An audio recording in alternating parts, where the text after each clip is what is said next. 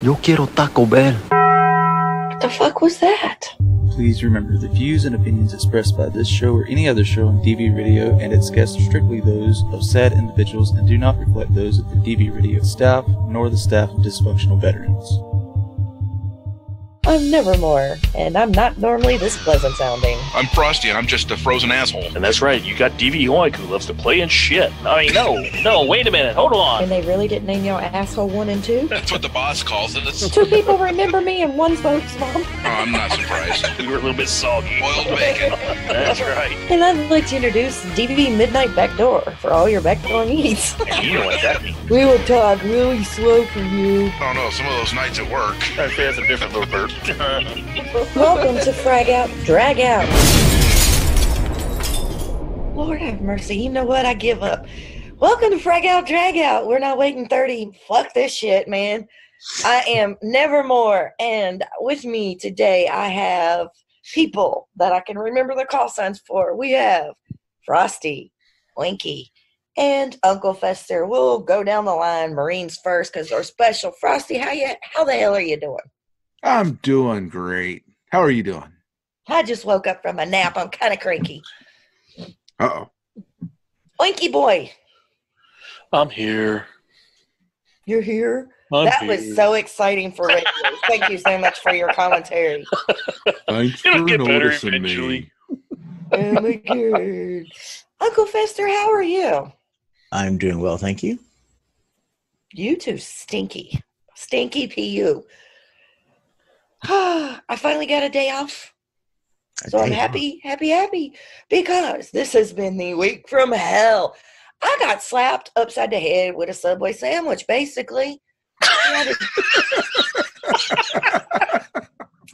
so, y'all know how I feel about the medicinal cannabis. Okay, it's neither here nor there. But when you're in a job and in a state where it's not legal, and they have a drug free workplace, and you walk up to the managers and say, You smoked too much marijuana today, we have a problem, and you're probably going to get drug tested.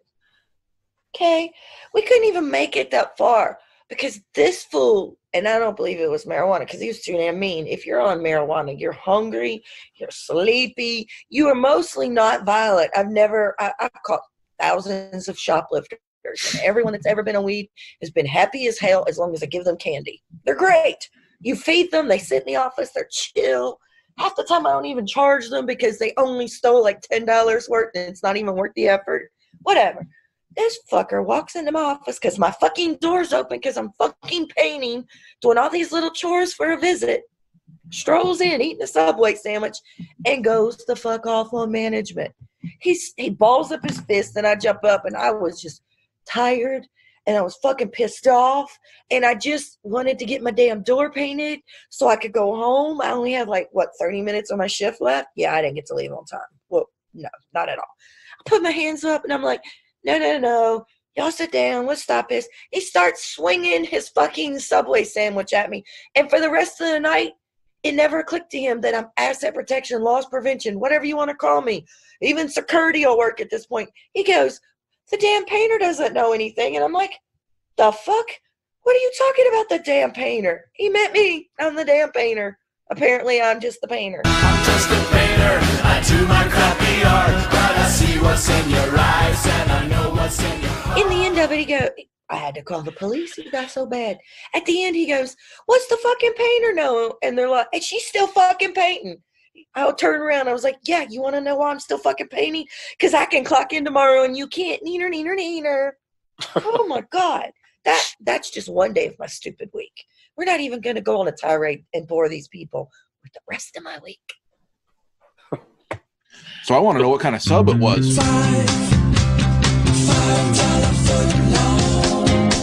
Well, I do know it had I do know it had mayo, lettuce, and tomato because I had to clean that up off the floor. It smelled Italian because, like I said, that shit went everywhere in that office.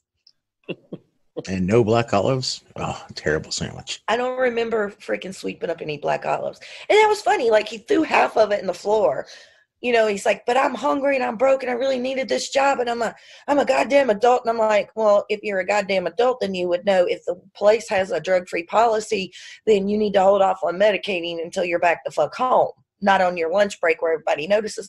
The worst part, yo, he wasn't even scheduled.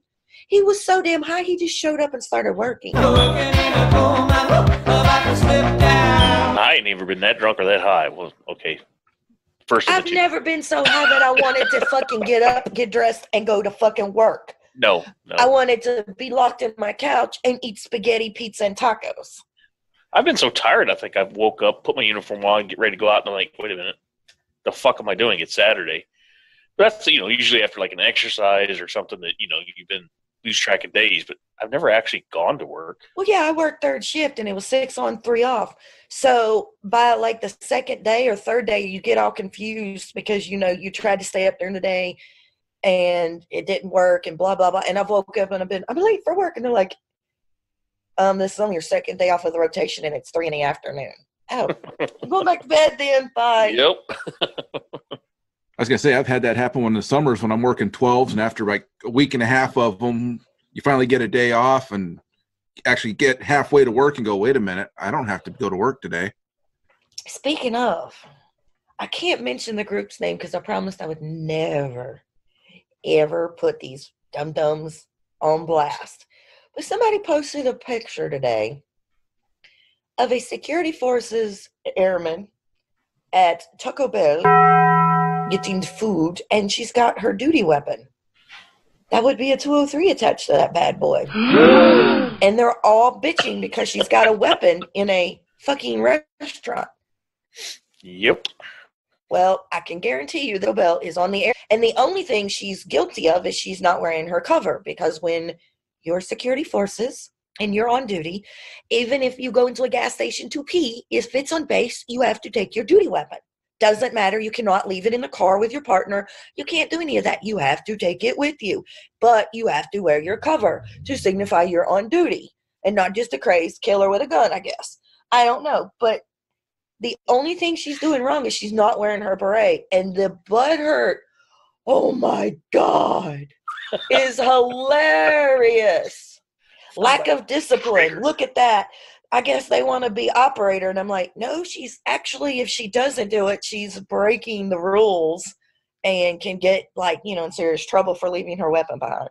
If you don't know about that branch of service, that's great. But before you post the picture to roast them, make sure you understand that that's actually something that they can get Article 15 for. Just so you know. That ain't even a counseling or whatever the fuck y'all call it. That's an actual Article 15. I've actually had to go into stores with an M60 and my beret on. That's the only part that's irritating me. I'm like, why didn't you wear your cover? Maybe they don't do that anymore, but back then, if you were on duty with your weapon, you had to have your cover on if you were indoors someplace. No, I still see it. Like I said, I for being 20 years, I, I, I there hasn't been a day I haven't seen security forces either, like you said, the shop at uh, the the BX, um, hell, the commissary for that matter, because there's a fucking pisser in the commissary.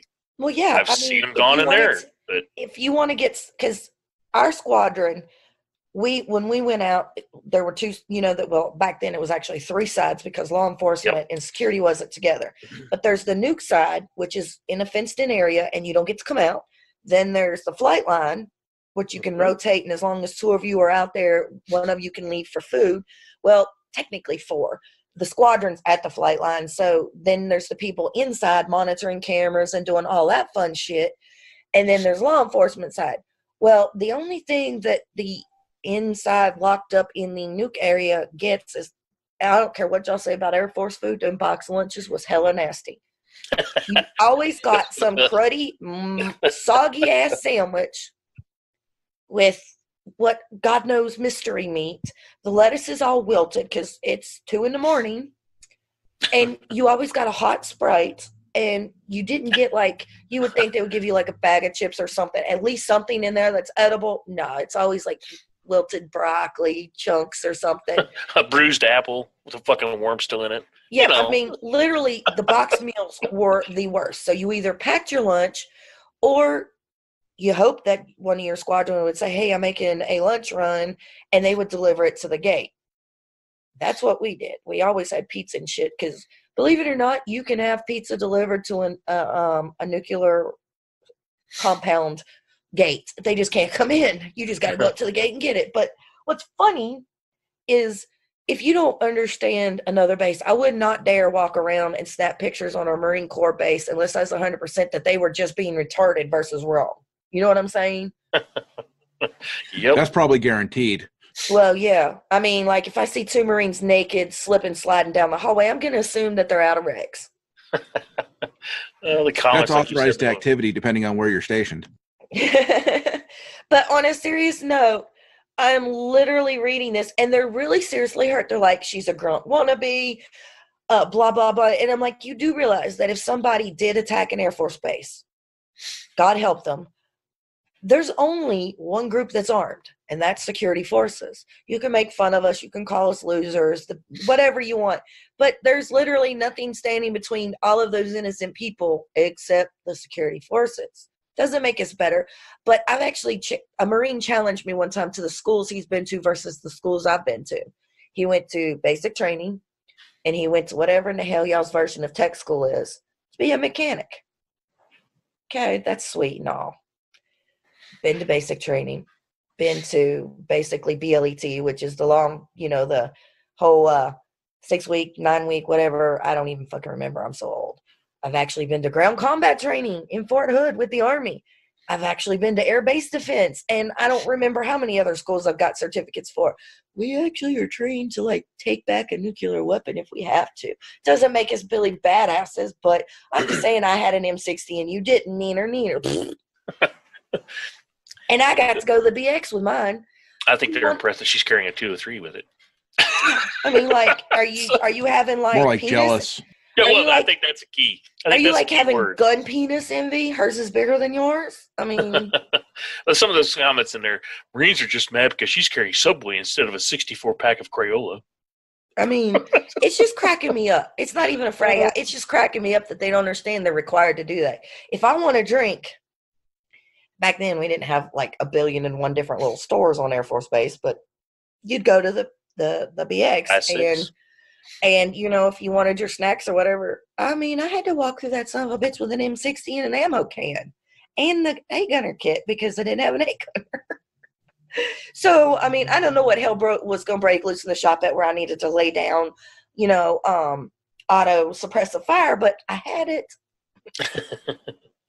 Matter of fact, I would put all of that, except for the M60, I had to wear that in the damn shopping cart so that I could actually use my hands. I mean, like, I don't get it. I mean, are y'all just jealous that that your like security forces can't walk into a store with their gun on, or or do they not carry anything but pistols?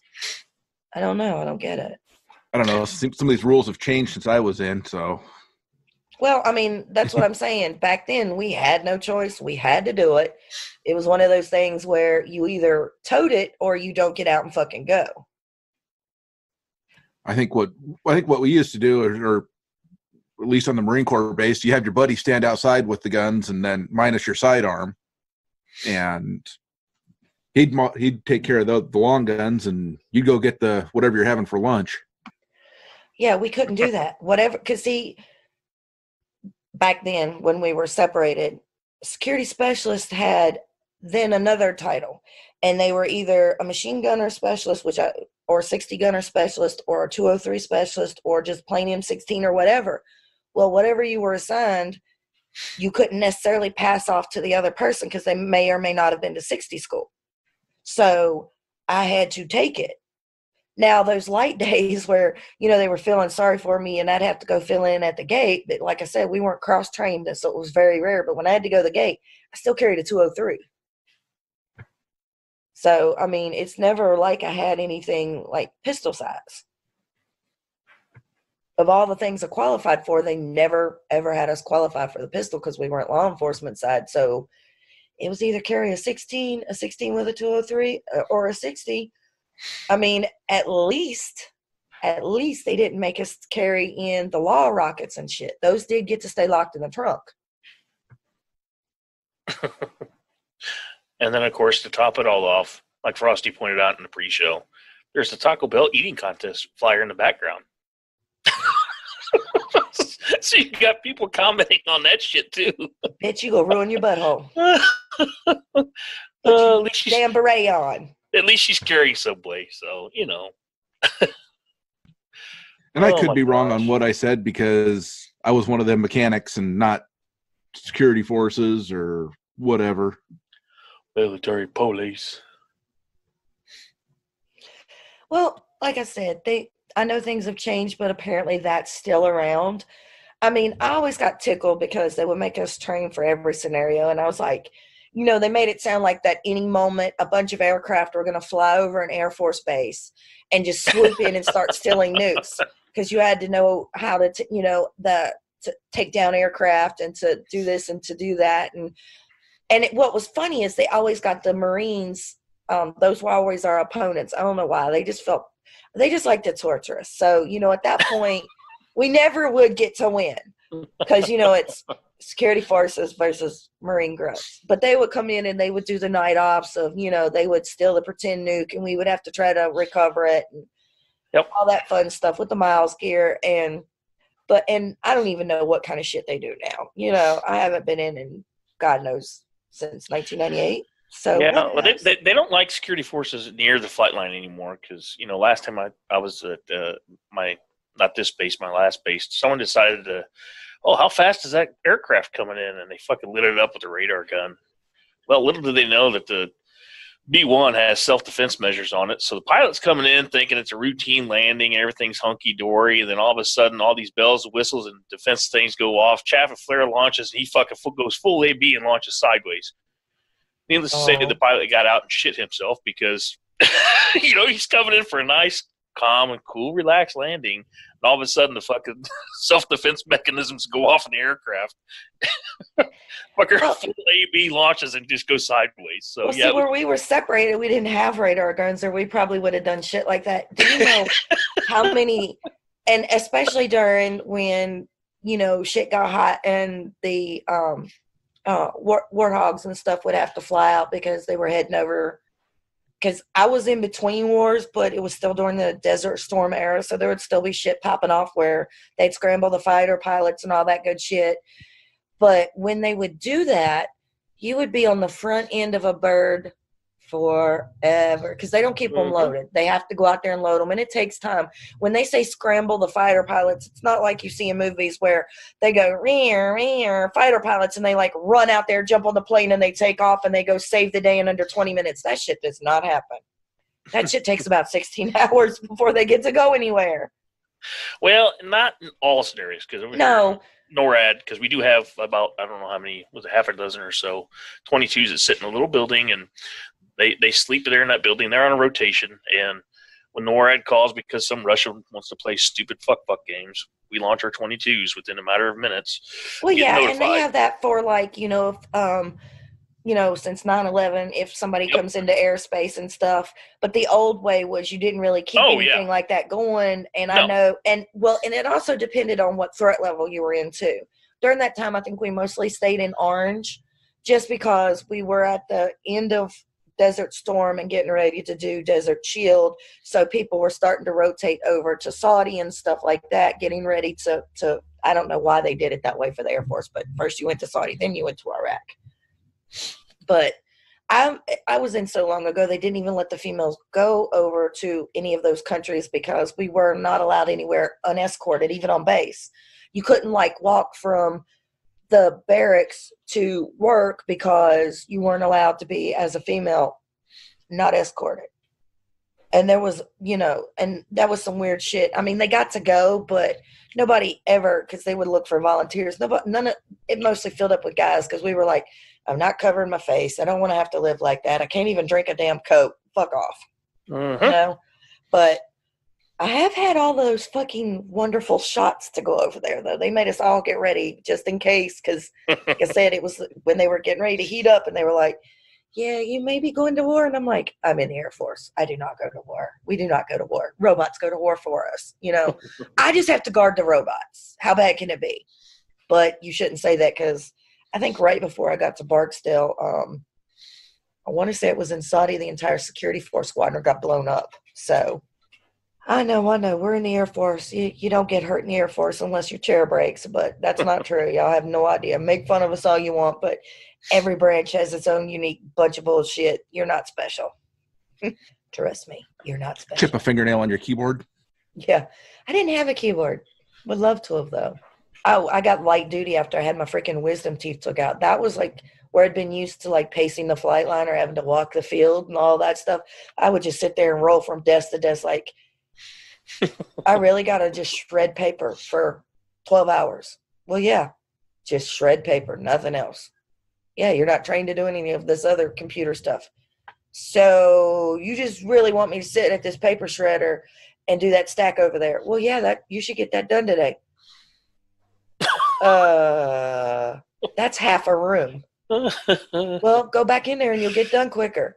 Uh, they literally had rooms full of paper that just needed shredding and I guess they waited for the gimp squad to shred it. I don't fucking know. Sounds was like it. not enough coat. See, the great thing about the Air Force was we didn't get Motrin. They actually gave me pain medicine after I had my wisdom teeth done. That's why I couldn't be on the flight line with my gun. Apparently, you're not supposed to carry a gun when you're. uh have narcotics in you. Yeah, exactly. like Who would have thunk it? no, but you can stick your fingers in a paper shredder. That's fine. Yeah, that was like six days of hell because literally for six days, and it, I was impatient and would always break it because not on purpose, but like too much paper would go in there, and they're like, Captain would come in there and he's like, "I've already given you two shredders," and I'm like, "Um, whoopsie." and you're taking all the staples out, right? My fingers are bleeding, aren't they? Yes, sir. Of course I am. of course I fucking wasn't. No way. I did not do half of what they said to. What, what did our paper shredder eat? A sandwich, banana peel, orange peels. I forget what orange peels made it smell good. Uh, Half a loaf of bread. yeah, yeah. I mean, I y'all are laughing, Anything we but could find went into that shredder just to see what it would do. If they'd have put me in a room that had anything in it, that may have been possible. But literally, it was just mountains and mountains and pounds and pounds and pounds of paperwork that just shred. And I'm like. I wonder if I can get 50 in here. Uh oh. Captain. He's like, I'll be glad when you go back to flight line, you can't break stuff. And I'm like, no, I just get the mechanics and shit to fix it before you find out I already broke it. right? It's just kind of one of those hold my beer moments, Captain. Uh, Now yeah, our shredder I mean, can't stand more than about five pages at a time. well, I mean, did you try a box of crayons in it to make confetti? That's fun.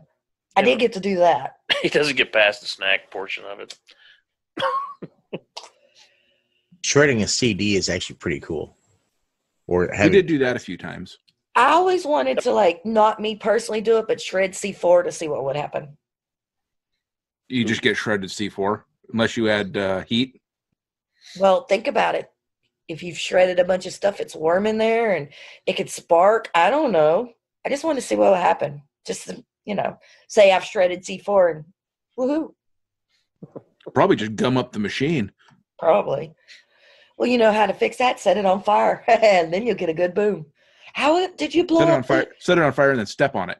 Can you imagine? How did you manage to blow up a room and the paper shredder? Well, um, you remember the C4 that we were using for the breaching door exercise? I put some in the shredder. Whoops, sorry. oh, my captain would have come in there so fucking mad. Anyway, Some of those Now- guys didn't have, uh, you know, sense of humor, did they? oh, my captain did not have it. He was one of those lifers that had been in security forces his entire fucking time since age 18 to 102. So he had no fucking sense of humor. Uh, like he would come in there and he's like you're a disappointment you should have done finish this room and i'm like you're a fucking disappointment i'm on narcotics and i keep squirreling and coloring oh shit! Yeah, one of the guys I went to high school with, he's actually chief now in security forces. So you know, hats off to him. well while you're talking oink do you want to mention our lovely sponsors Oh, but of course. One of our favorite sponsors, of course, is the good old K Bar Soap Company. Ditch the bar, grab a grenade.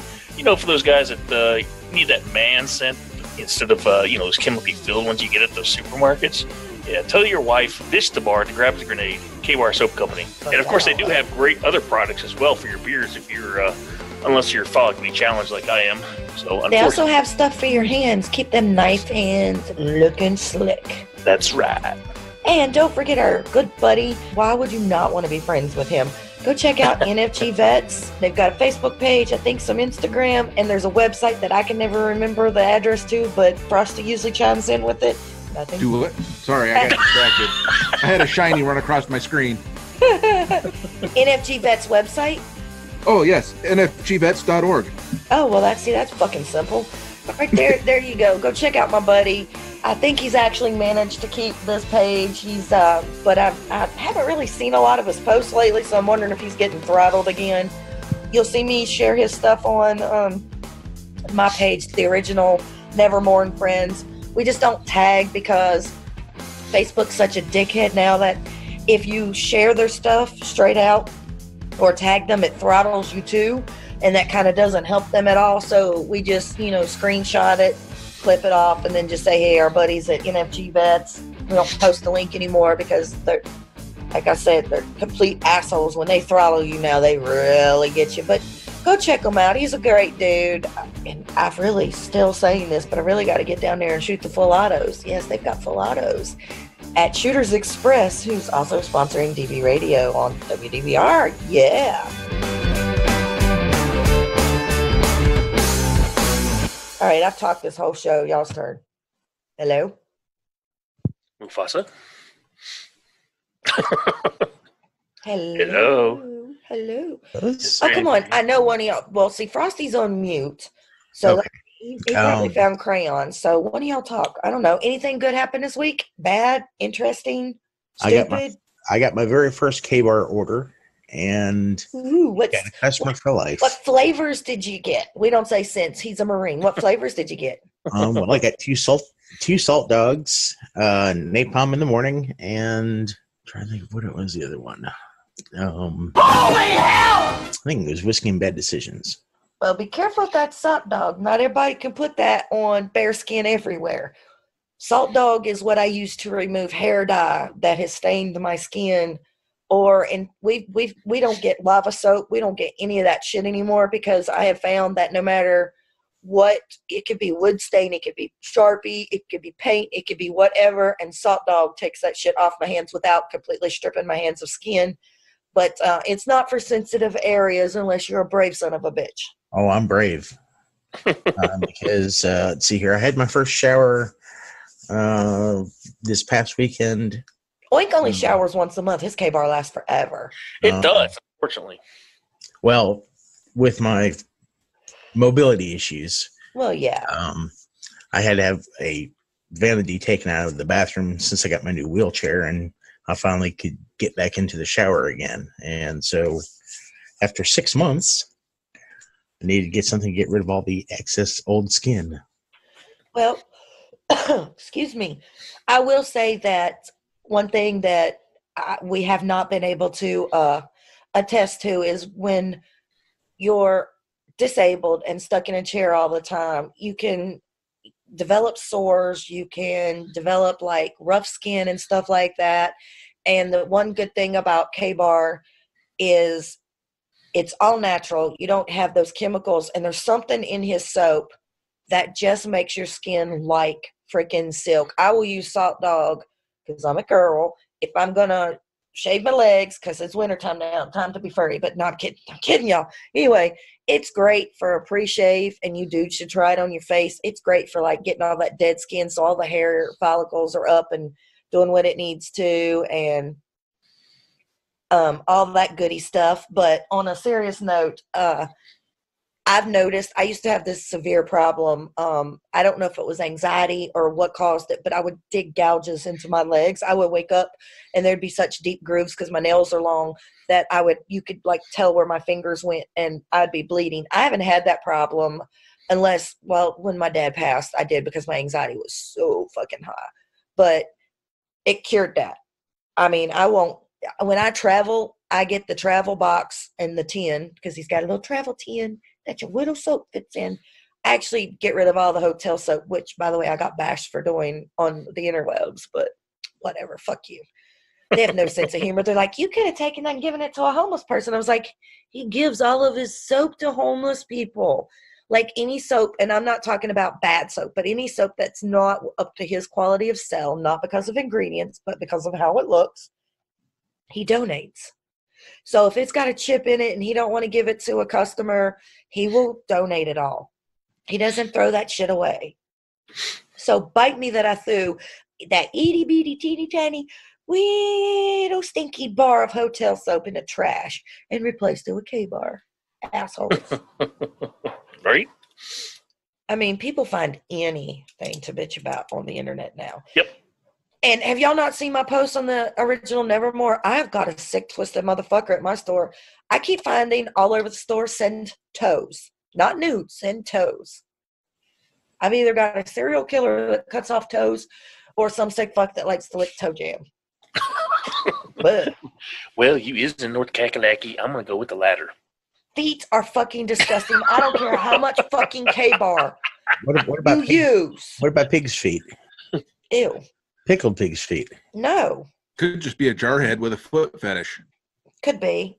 Could be. But they spelled it all right. That's how I knew I wasn't a Marine.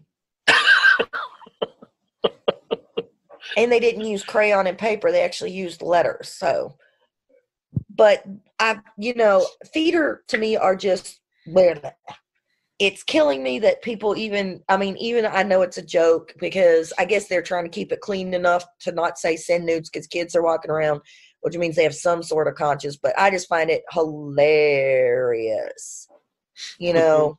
Hilarious. So um i think we're at our 30 minutes. I'm not sure because they got to having a conversation in here. We are ready for break.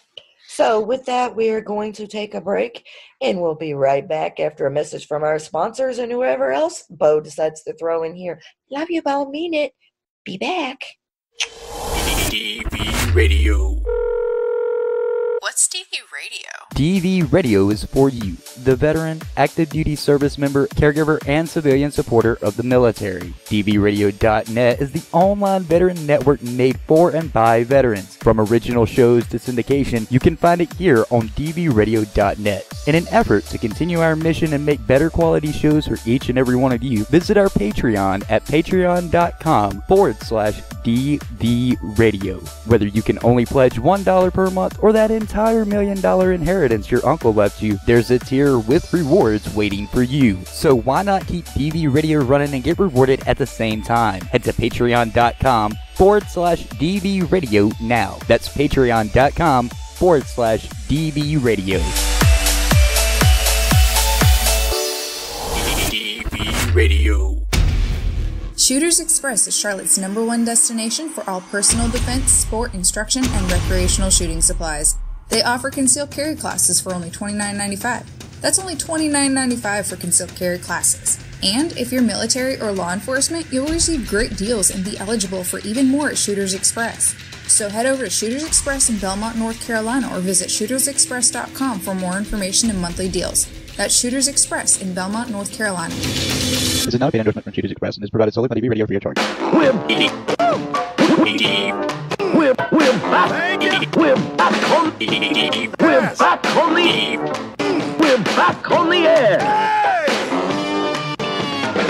DV Radio. Did everybody remember to pee? With me, we still have Oink, Frosty, and Uncle Fester. Uncle Fester's still learning his groove. I'm sure he'll talk and jump in there when he can. We're trying to teach him how to be a great host. we just kind of threw him in the mix after last week. So there you go. I didn't His pee. graphic is coming I soon. pooed. I'm never going to get over that. He's so grown up now. Just brings a tear to the eye. I know, right? I feel like that Oink's been potty training him at work and like has been giving him crayons as rewards or something. oh, you didn't pee on a plane. Here's you a purple. Uh, Ew. He likes his green crayon. Y'all leave him alone. That's right. That's green is for when he's good though. Well, I mean, if he didn't ple- pee on the plane and peed in the potty, I guess he deserves a green. Maybe. So Frosty's going to read a quick uh, public service announcement when he hits the unmute. Trying to do three things at once. It wasn't working. Okay, all you assholes, I need some help. Surprise, surprise, surprise. Somebody's grandfather turns 100 this weekend, and he was in the Navy in World War II. Obviously, we're trying to make his birthday amazing as possible. I even talked to the Pentagon, and they're sending personnel to the party. What I need from you is birthday cards or, or just hand scribbled notes. His address is Frank Bell, 1351 Lambe, L A M B E Road, Snow Camp, North Carolina, 27349. Thank you. And now you can go back to your normal fuckery. All right, our show airs um, on the 8th. So if you're hearing this past the 11th, I'm not saying you can't send him cards. I just wouldn't send birthday. You can send him some sort of greeting. And I am really fucking disappointed in Frosty. I really, really, really fucking thought he would do this phonetically because, you know, military's listening and they're going to be like, what letters did he say? But I'm really disappointed. I thought out of everybody, the damn Marine would do it. I'm getting too used to having to do it the Air Force way.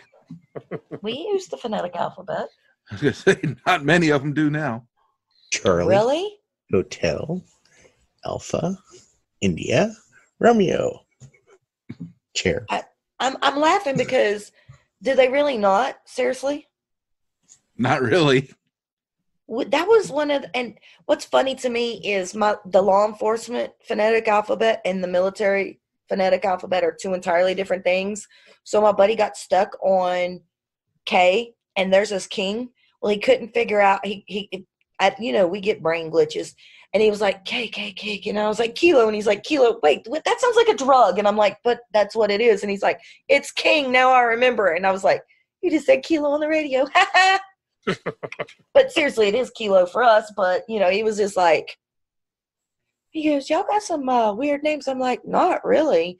I mean, yours are dumb because yours is like King and uh, uh, Paul, and and I'm like, mm, yours aren't near as funny because you're using names like George and Frank and just whatever. It's like you just made up. It's it's almost like the hurricane season when they just make up a bunch of names in alphabetical order. I think Well, I think one year they had 26 um, hurricanes, and that's what the police decided to use as their phonetic alphabet. yeah, they've come up with, I've heard some weird ones on the radio up there, and this was a contractor that did it, but we had a taxiway Daisy, and everybody's like, you could hear, you could almost hear everybody go, what? that was listening to the radio. Well, I guess I've I've kept that habit because when we let them know tag numbers and stuff like that, and it's it's gotten so bad that even my partner knows 95% of the uh, phonetic alphabet because you know like when you call in something that's like ZMD, it all sounds the same. So I'm like Zulu. I don't remember him now because my brain just farted. Mike, Mike, there you go. November. And so he does that shit, but he mixes the two, the military and the police. So his come at, I get to laughing sometimes when he does it. He'll do it, and I'm like, I know what you mean, bro, but damn, that's funny. it's The one shit- of those that some days I got the- it and other days I don't. It's the dumb shit that we remember, you know? It's like out 20 years, and I remember the phonetic alphabet better than I remember other shit. And just, I don't know. Hello, PTSD and memory problems. Whatever. Live with it and move on. It's sad. The Marines are memory. What's that tell you? what about the what about your firemen? You have to make up letters instead of like just reading letters. Uh, normally, we use the phonetic alphabet. Which one? The police one or ours? Well, actually, uh, probably mixed. Um, I'm more familiar with the military uh, phonetic alphabet um, than uh, what the police use. So, I only remember two codes for the police in this state. They're they're different everywhere. I remember 1072, which means when they say that, I back up because somebody's fixing to go to jail, and 1073, which means I back up because somebody's fixing to go to the loony bin. if I hear either one of those, then I'm I know to get in my corner so they got room. uh, 1069, that is not a code. dead body. but it was so cute because we've got a bunch of new members of management And my manager come in the room the other day, the new one, and he was like, I don't know what to call this guy. He's such a such a and he was telling me the the behavior he was the one I went, Blue Falcon. He goes, Oh my God, yes, Blue Falcon. Wait, how do you know that? And I went, Wait, how do you know that? Because most people don't don't know that term unless you're in the military or always with the military. And he, he's like, I did six years in the army, and I was like, I would have guessed Navy, and he started laughing, not making fun of him, but he ap- actually happens to be homosexual, so Navy just blurted out my mouth, and he goes, No, Army, and I'm like, Oh, sorry. He just died laughing. I thought. I'm fixing to get a red book, which means you're under investigation for ethics. And I was like, I'm fixing to get a red book because I just basically just called him gay in the Navy. Sorry. Well, in, in the Marines, don't they call it a Bravo Foxtrot? I don't know what they call it in the Marines. I tried not to associate with them fuckers. Air Force. Either a Bravo Fox Foxtrot or a Blue Foxtrot. Blue Can Fox. you, can you imagine? And Oink can tell me tell you this too. Air Force, and I don't know if they're still that way. They used to be so stuck up. Like they were the their uniforms had to look better, and that was back when we had BDUs and you could make them crisp and not this stupid shit now that always looks wrinkly. But like if you saw other branches of service, your head went higher in the air and blah blah blah blah blah blah. And it was always our our lectures about when you're hanging off base because in Lackland, especially they cha- they trained a bunch of security forces, not just for us, like for several branches. And it'd be so funny, and they'd be like, "Now, if you go out, make sure you don't hang out with the Marines, or you may come back in handcuffs." Which, you know, in their defense, did happen once. Probably. I went out with the Marines to a party. I was a naughty, naughty person. I wasn't 21. There happened to be a Marine that looked exactly fucking like me, so I used her ID and her uniform. Snuck off base with the Marines and crawled back on base and got in trouble. But I mean, I didn't get any charges. And the people who caught me, just because they happen to be friends of mine, they're like, We're dragging you to your room. And if you ever talk about this again, we're going to have to kill you. So I'm probably dead now. Maybe they're dead now. I don't know. Yeah, you definitely. I mean, these freaking new ABUs where they don't iron them or anything else, they do look like a bag of assholes, if you ask me. And then the OCPs, you know, now we're looking more like Army than anything else or whatnot. So yeah, it's. I don't know if I'm it's gotten sorry. any better I miss black boots. I'm sorry, but those brown boots that like the army and stuff wears, literally after a week, they're so dingy, grungy, and I've seen it. There's no way to really clean them, some of a bitches. If you No. fucked up your black boots, all you did was dye them and then shine them. a little spit and polish, and it was good to go. Well, yeah, and you could strip them down. If you got a big gouge in the damn thing, strip all that shit off, re- restart applying. I mean, it was it took work, but you could still do it. When we went through But the when you go to obstacle course, Stupid I- suede shit. Oh, come Yeah. on. When we went through the obstacle course, when I got back, I noticed my boots were white. Like there was so much water and stuff, it had turned my boots white. That after the after whatever caused them to turn white, and I like dyed them and started over. That was the best fucking shines I ever got. I hated when I killed those boots, and I actually went to and I'm here's where everybody's gonna make fun of me. I actually went to Low-Tex, but they were still black. You know, you could still shine them, whatever. I just didn't wear the boots up my calf. I wore Low-Tex. I kind of miss those suckers because I'm sorry, combat boots. Y'all may not think so, but those black combat boots are the most funky, fucking comfortable boots on concrete ever.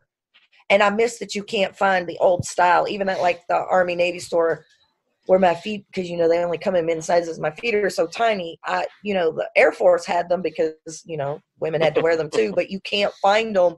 And I miss them because I walk on concrete all day, and I miss my fucking boots. But they were, Mhm. s- I don't know what I did to them and ruined them. But after that was the best shine. And I'm not talking about this. When I we called it cheater shine back then. People would mop and glow, or what I called the insta glow.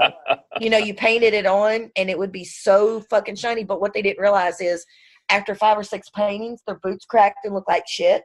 Yep. And there was no fixing it except to strip them down, and they wouldn't want to do that. Or then until back someone then- steps on them. And then back then, they also had this stuff that you put on them.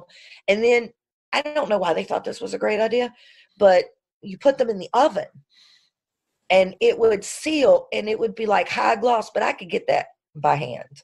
I just, I'm one of those people. I, I loved shining boots. It was so therapeutic. Well, I hell, said you my see, trick was always uh, parade gloss with a light coat of 30 weight oil over it. Worked looked great. You walk through some dirt or sand. No, I did the. I'm talking like you know you're sitting there heating with the lighter, heating your boot up so the wax Yeah, would melt in it. Cotton ball Melt that in kiwi ice. shit. Hell no, but the the cotton ball in ice water because if you dipped it in ice water over the heated wax on the boot, it was fucking fabulous. I would have them looking like no tomorrow. Like when we would have inspections, the fucking captain would be like, "Hey, do you mind doing my boots?" And I'm like, cost you 20 yeah. I mean, or while people- you're spit shining, use uh, Listerine to help uh, uh, thin out the polish. but it was even in basic you know as stressed out and stuff um at night before when we were getting ready for the next day i would sit in there with like a headlamp on and just shine my boots until i could go to sleep. I've never been able to sleep at night. I mean i did them first two weeks because that wore the hell out of me. Getting up at but ass crack of dawn for pt but i would love there's nothing more i don't care what you say there's nothing more therapeutic than shining boots. Now ironing's for the fucking birds. I iron that shit. I was so bad that like my BDUs, I took that double sided um tape that goes in clothes and I put that in my creases.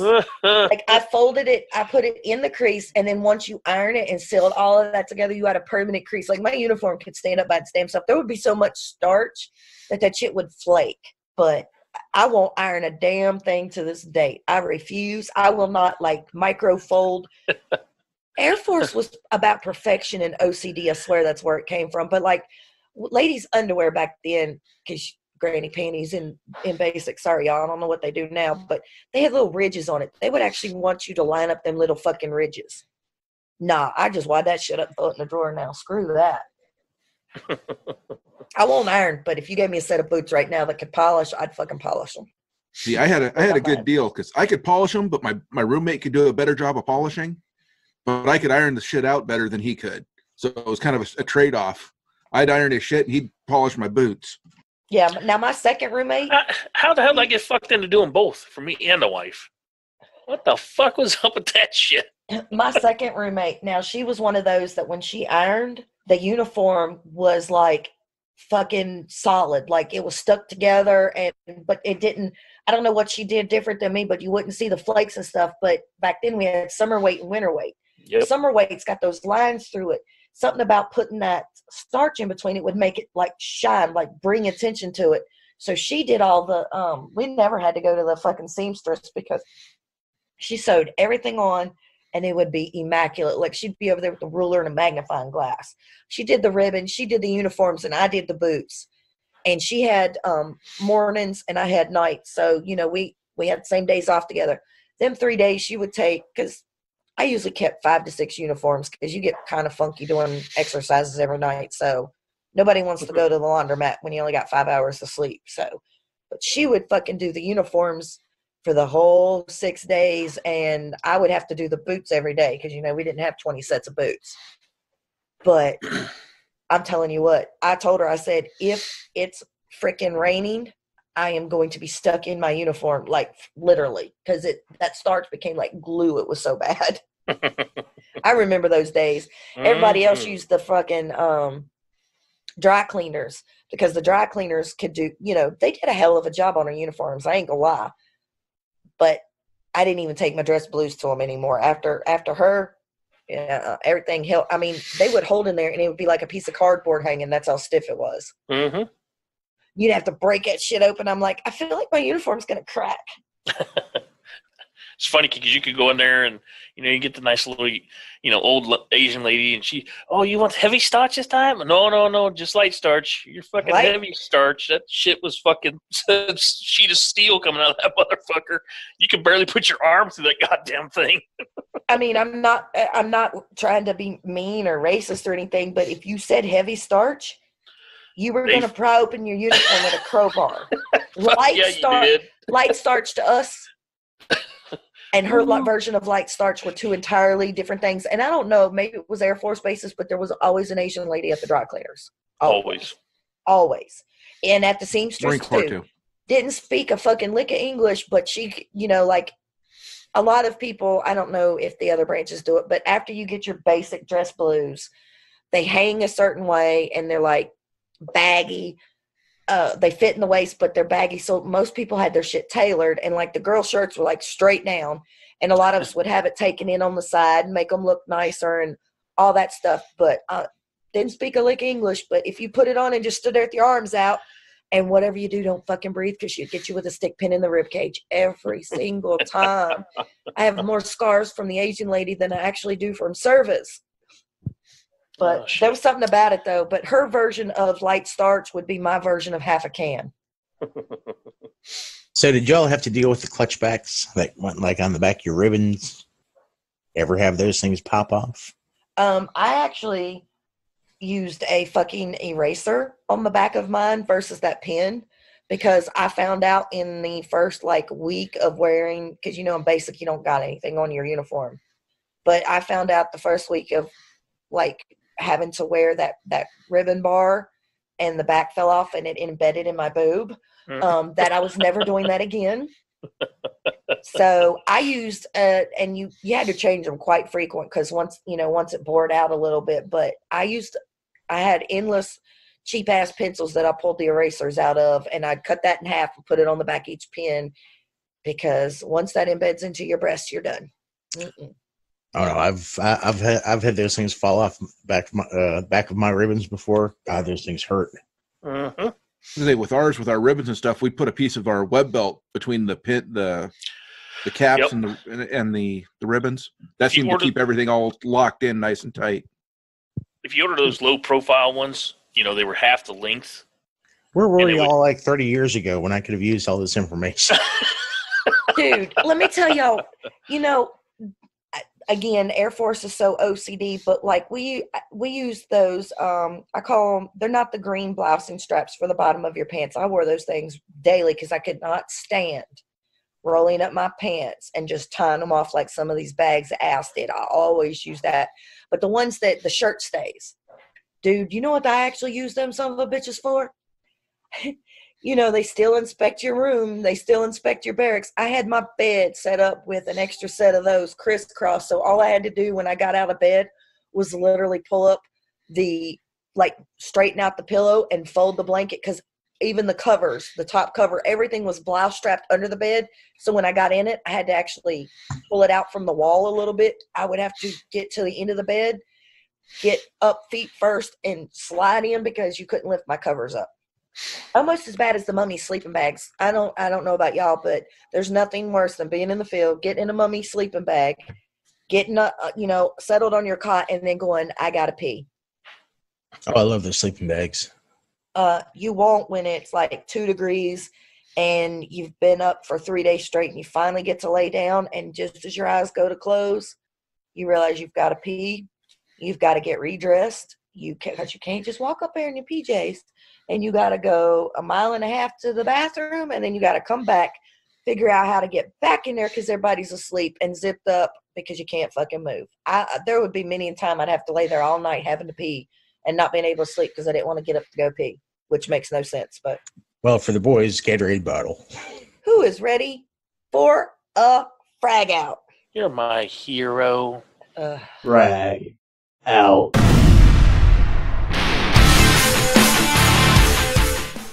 So, a local group today posted about an article about thanking veterans for their service. Some like it, some don't. This is not what that's about. What this is about is some dum dum who actually posted on her own Facebook to come up to her bakery to see how gorgeous she is. Now, remember that line. That just because you're a veteran, you're not you're does not make you a hero. No one's saying that when you thank a veteran for their service that they're a fucking hero, okay? I personally don't like being thanked, but if you do, I try to say my pleasure or something like that, or thank you for your support or something, you know, instead of being all awkward and weird. I don't get mad. I know that there's the, the, the bro vets out there that demand to be thanked for their service, and then there's the other vets out there that, for whatever reason, are ashamed to be thanked.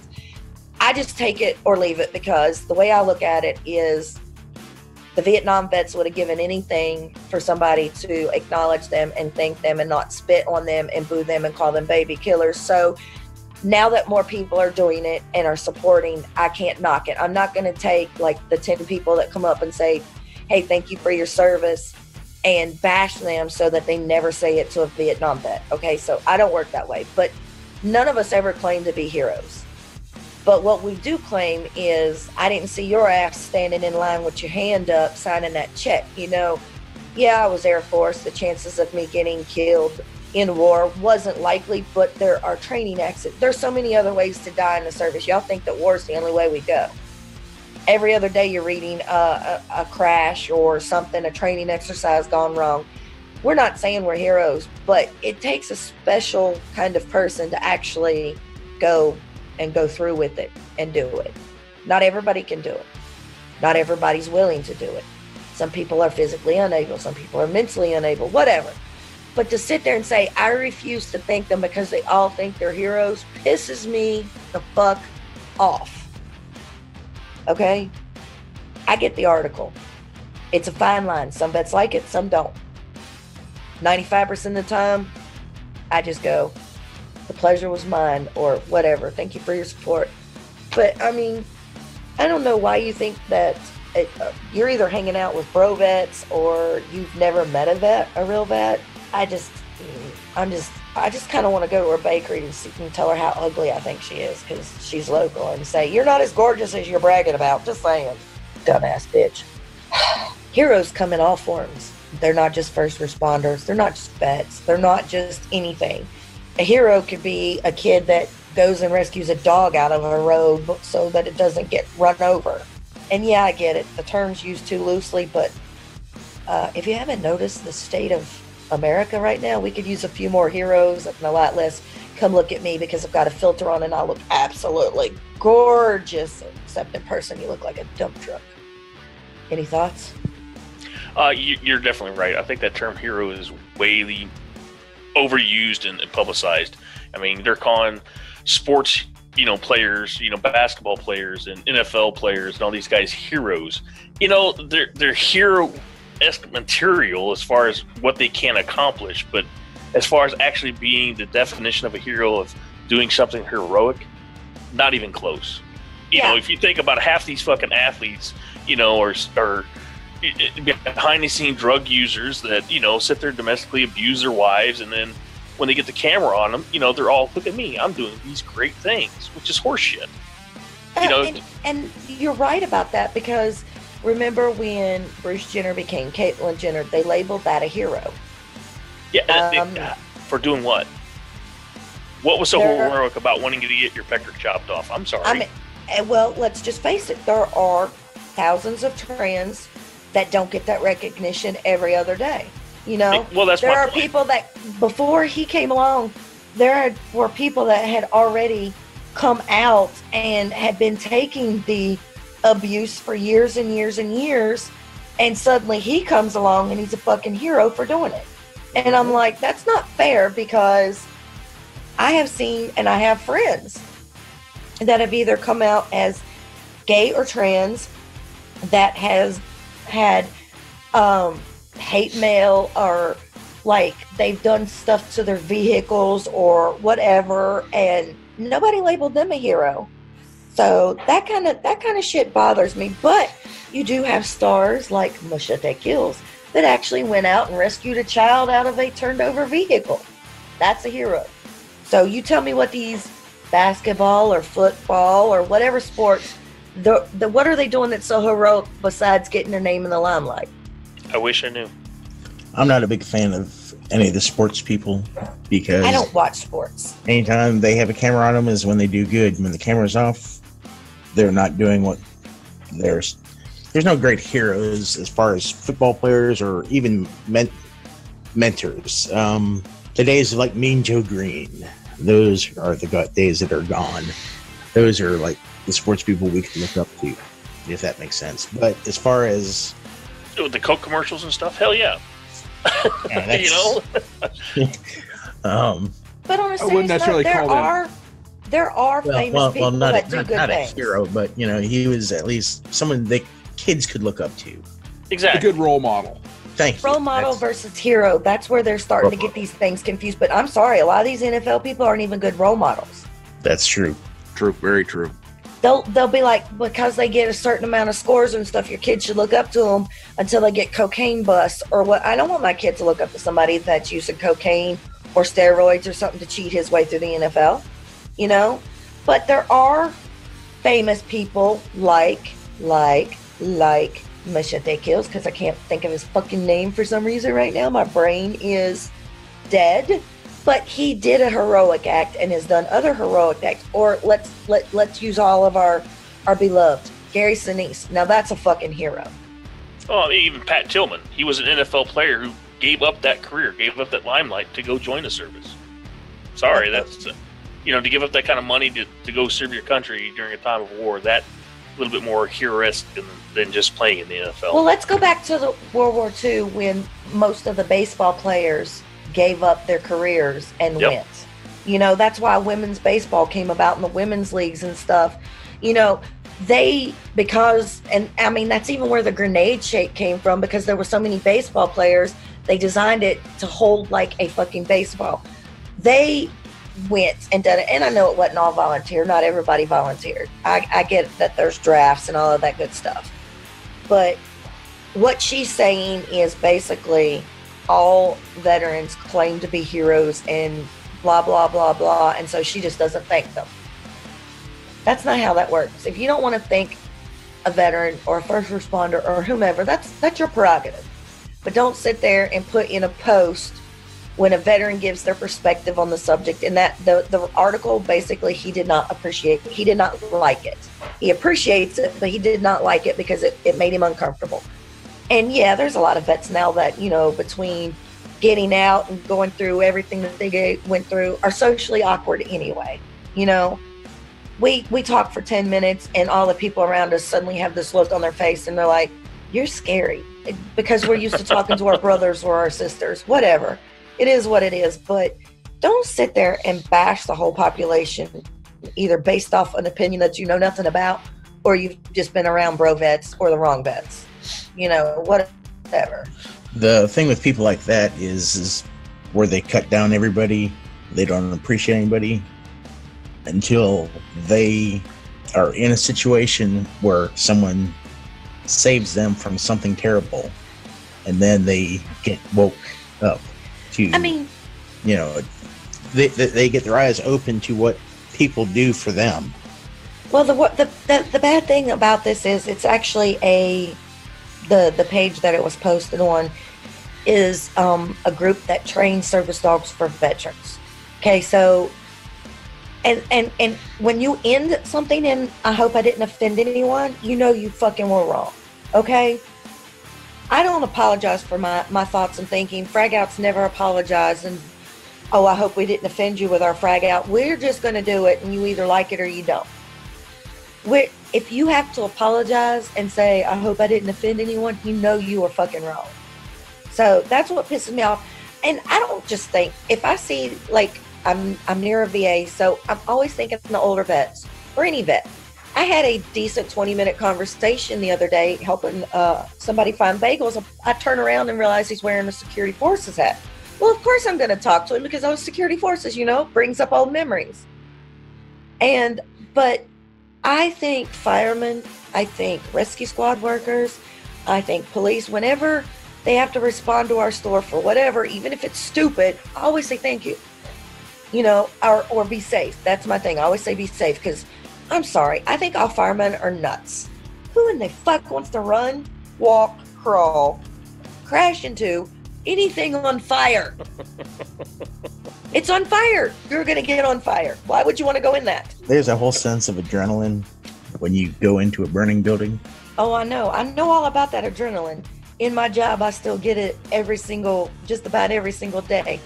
But adrenaline's not fireproof. It just makes you think you are. But behind, well, just like in the military, in firefighting, we go to school. Firefighting is a science. And yes, just like every other field, sometimes there, there are accidents, sometimes things happen, sometimes people die. It does happen. But, you know, you go in there with fire, fire's number one enemy, a hose, spray the room down, knock the fire down. You can make your, you know, and if you get lucky enough to where you can save someone, or save a save a dog, save a cat, save a human. You know, you get filled with a sense of you know you, you come out of that and you've made a difference in something's life, and that's that was the biggest reward for me. That's why you know I was doing it 'cause I enjoyed helping people or trying to.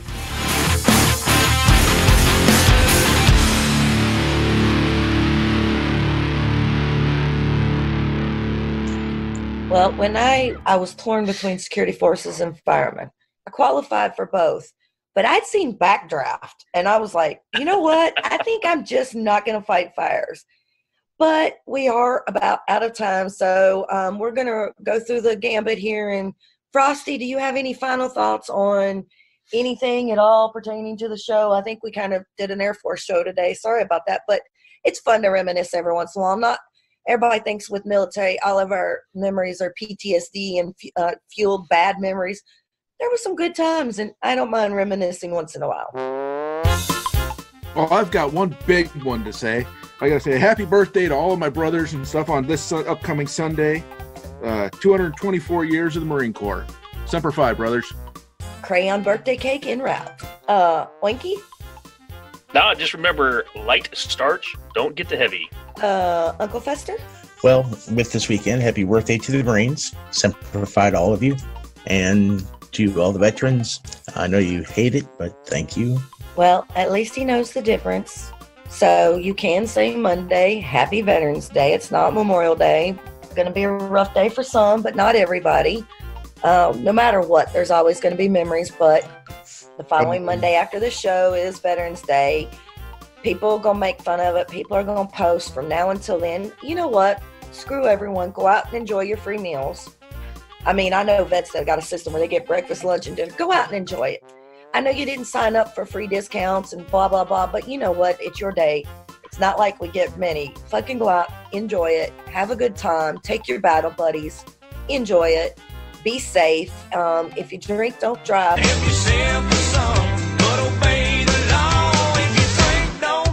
Do the watermelon crawl. if you're gonna tap it wrap it. Um, don't smoke and fly. And uh, don't be the reason for a safety brief come tuesday okay? We Oh, do not want that. And if you need a ride there are th- there's no excuse. There's uber there's taxis there's way too many things now so i don't want to hear tuesday morning i fucked up and got a dui there's no fucking reason for it okay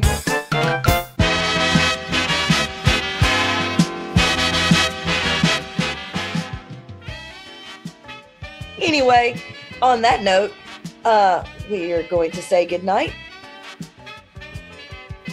This has been your frag out. Have a great night, fuckers.